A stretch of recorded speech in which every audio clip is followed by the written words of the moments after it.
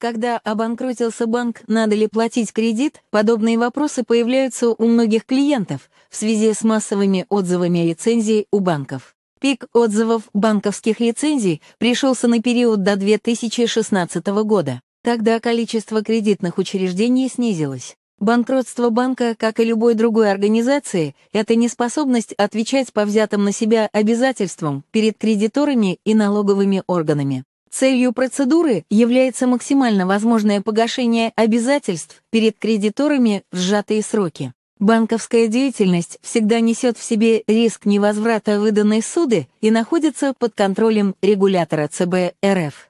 Многие кредиторы перед отзывом лицензии регулярно сталкиваются с предупреждениями от Центробанка в части неисполнения установленных Центральным банком норм и положений поведению банковской деятельности не соблюдают требования к формированию обязательного резервного капитала. Подробнее читайте в полном обзоре.